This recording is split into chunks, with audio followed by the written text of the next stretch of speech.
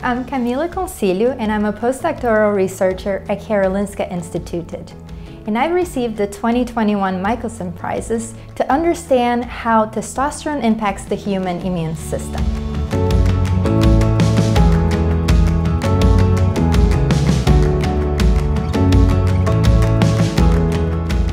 I chose to become a scientist because I've always been very curious to understand the world around me. And so I chose specifically to go into the biomedical field to try to understand why people develop diseases and to try to find ways to better treat these diseases and prevent them. So my research is trying to understand how the immune system is different between men and women.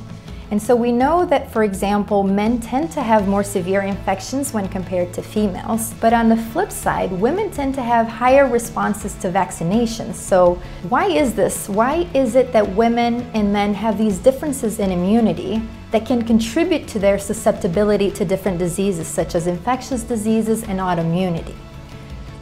My research is trying to understand how a specific sex hormone, testosterone, that is different between males and females is impacting the immune system of humans.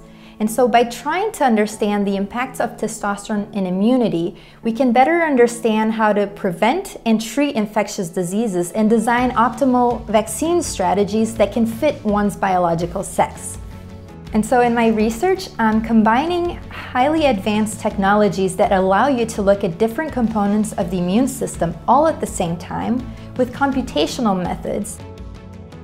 The Michelson Prizes will help me address a question that I've been interested in for a really long time of how is it that males and females have differences in their immune responses. And so by understanding how biological sex impacts the immune function, we can now understand better how diseases are developing differently between males and females and also optimize strategies to treat these infectious diseases, such as developing vaccine um, strategies that are fitting to one's biological sex.